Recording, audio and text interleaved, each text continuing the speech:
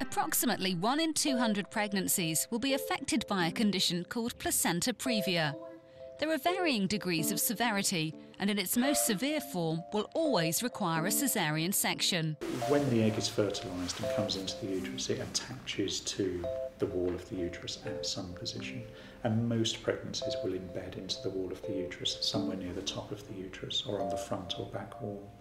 A very small proportion embed lower down in the uterus, very close to the cervix.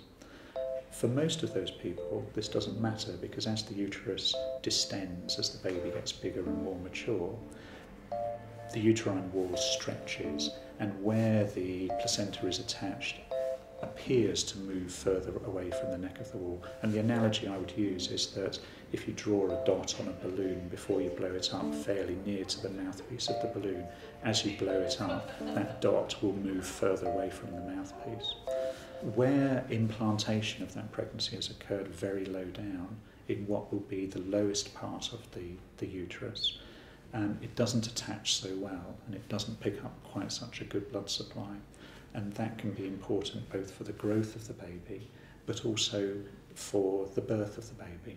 Because if the cervix, which is normally closed, has to open to 10 centimetres to allow the baby to be born, then if the placenta is very close to the cervix, as the cervix opens, it will strip away the placenta, and that part of the placenta will bleed, and that puts the baby at, at risk.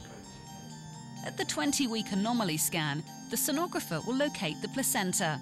If it's seen to be at the lower end of the uterus nearest to the cervix, the recommendation would be to check again after 32 weeks of pregnancy to see where it's lying then.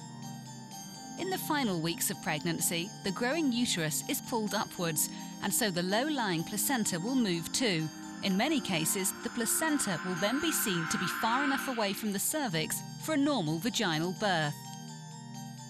If the placenta is still either too near to the cervix or even over it, then a caesarean section will be necessary.